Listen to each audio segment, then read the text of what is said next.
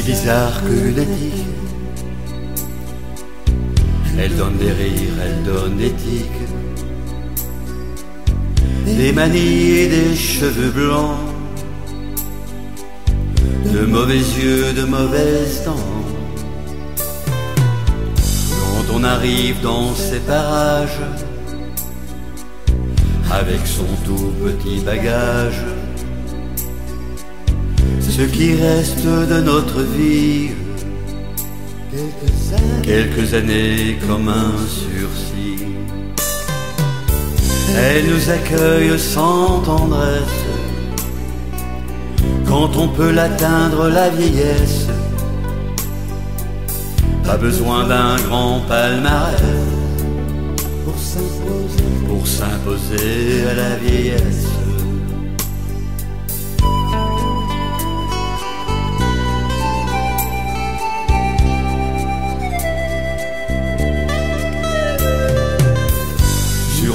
Les aime bien les vieux, pourvu qu'ils soient pas ennuyeux, pas capricieux, pas exigeants. Ils peuvent se plaindre, mais tout doucement. Le vieux n'est pas l'ennemi du bien. S'il a sa vieillesse bien en main,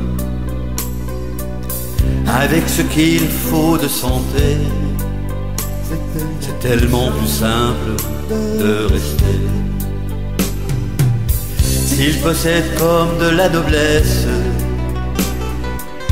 pour dissimuler leur vieillesse.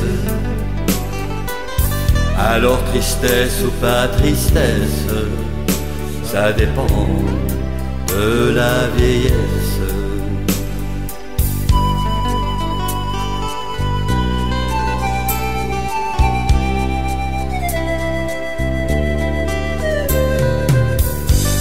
Peut se métamorphoser nous faire sourire, nous faire pleurer. Un vieux qui offre ses souvenirs, ça peut même le faire rajeunir. Ne les mettons pas au rencard pour être pépé, mémé, placard. Même pas trop opérationnel, et même s'ils battent un peu de l'aile. La confidence de ses prouesses, quand il ignorait la vieillesse, c'est répondre à un SOS que d'accompagner la vieillesse.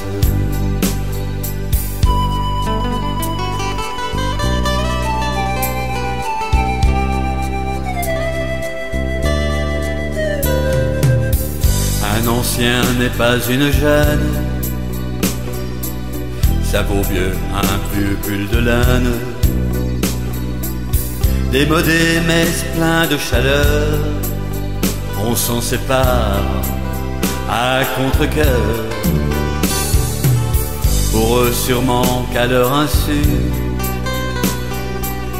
lorsque la vie est sans issue, que rien ne va plus à leur roulette, nous viennent quelques larmes discrètes.